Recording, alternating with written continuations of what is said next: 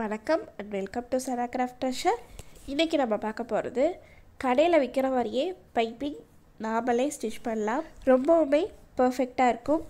இந்த வீடியோ பார்க்குறக்கு முன்னாடி நம்ம சேனலில் சப்ஸ்கிரைப் பண்ணாதவங்க சப்ஸ்கிரைப் பண்ணிவிட்டு பக்கத்தில் இருக்க பெல் ஐக்கான் கிளிக் பண்ணி ஆல் கிளிக் பண்ணிக்கோங்க. அப்போ தான் போகிற எல்லா வீடியோஸும் நீங்கள் பார்க்க முடியும்.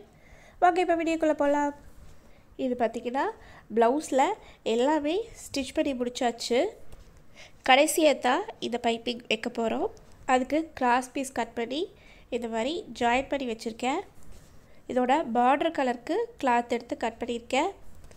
ஸ்டார்டிங்கில் கிராஸாக இருக்கிறது கட் பண்ணி எடுத்துக்கிறேன். இப்போ இந்த கிளாத்தை அடியில் வச்சுக்க போகிறேன் கழுத்து பார்ட்டை இந்த மாதிரி கொஞ்சம் கிளாத் விட்டுட்டு மேல் பக்கமாக வச்சுக்கிறேன். இப்போ கொஞ்சமாக கேப் விட்டுட்டு ஓரமாக தைச்சிட்டு வர்றேன். அந்த ரெட் கலர் கிளாத் பார்த்தீங்க அப்படின்னா கொஞ்சம் எக்ஸ்ட்ரா வெளியே தள்ளி இருக்கணும்.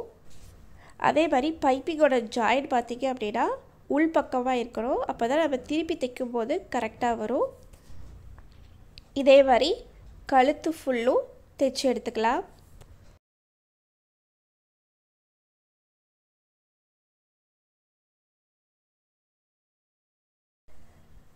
எண்டு வந்ததும் வெளியில் எடுத்துடலாம்.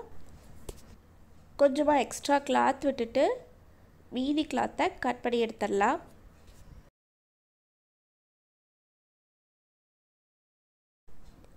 இப்போ இதை அப்படியே திருப்பிட்டு எக்ஸ்ட்ரா இருக்கிற கிளாத்தை உள்ளே மடிச்சுட்டு இந்த பக்கம் சைடில் இருக்கிற கிளாத்தையும் உள்ளே மடிச்சுட்டு ரெண்டு கிளாத்துக்கும் நடுவில் தைச்சிட்டு வரலாம்.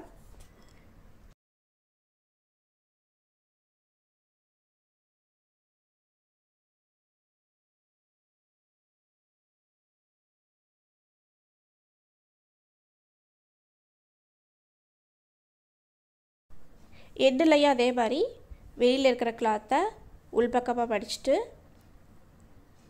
இந்த பைப்பிங் கிளாத்தையும் மடிச்சுட்டு டார்னிங் பண்ணிக்கலாம்.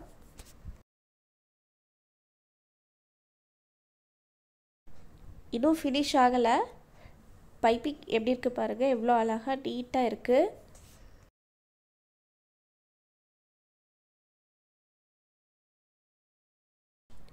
இப்போ உள்பக்கம் இருக்கிற கிளாத் வந்துட்டு நூல் நூலாக இருக்கும். அதை ஒரு மடிப்பு மடிச்சுட்டு அப்படியே ஃபுல்லாக தைச்சி எடுத்துக்கிறேன்.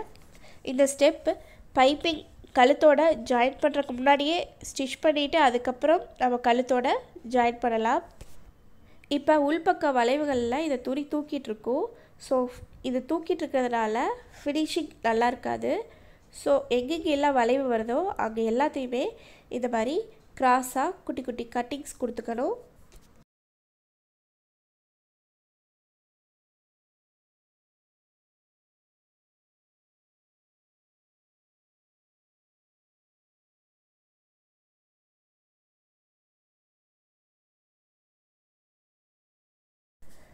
அதுக்கப்புறம் உள்ளே எக்ஸ்ட்ரா இருக்கிற கிளாத்தை கையில் ஹெமிங் பண்ணலாம்.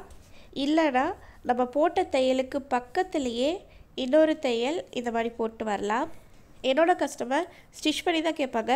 ஸோ உங்களுக்கு நான் ஸ்டிச் பண்ணியே கொடுத்துட்றேன் ஹெம்மிங் பண்ணோம் அப்படின்னா நம்ம இந்த ஸ்டிச் பண்ண அந்த ஸ்டிச்சிங் தெரியாமல் உள்ளேயே அதை ஹெம்மிங் பண்ணது போயிருக்கும். அதுதான் டிஃப்ரெண்ட் வேறு எதுவும் டிஃப்ரெண்ட் இல்லை.